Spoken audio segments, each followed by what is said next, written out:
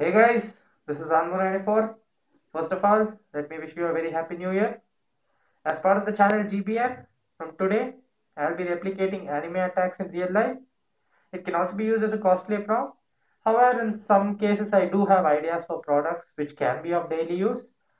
Uh, now let's get to today's tutorial.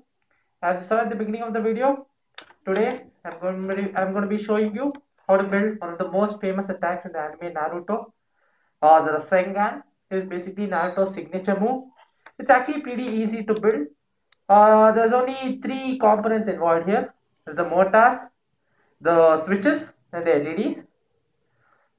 So basically, the LEDs are connected to the motor like this using masking tape and uh, basically they can be uh, and this motor drives the LEDs in the forward fashion like this and uh, the bigger motor drives the smaller motor together with the LEDs like this. Of course the switches are optional. I've just added to make everything easier. So when uh, the LEDs and the motors are connected and uh, both the switches are on it creates a spiraling effect. That is the Rasengan. So that is all there is to the build of the video. So you can probably use different colored LEDs and uh, even create other attacks. Uh, for example, you can replicate Energy Blast from Dragon Ball Z. I'm trying to build a bigger version of this product. So it looks like the Spirit Bomb from Dragon Ball Z, which Goku uses. And uh, that's uh, that's it guys. That's basically all there is to build the Rasengan.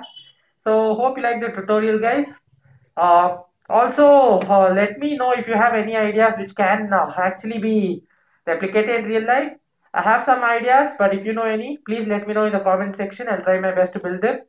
Also, as part of this channel, from today, every fortnight, I'm going to be releasing a video making a real life anime product. So, also, now one more thing, uh, please let me know if you would be interested in buying one of these products. I'll probably try to sell them online. And uh, anyways, thanks for watching guys. Share the video with your friends, like and subscribe to the channel. Thanks once again for watching the video.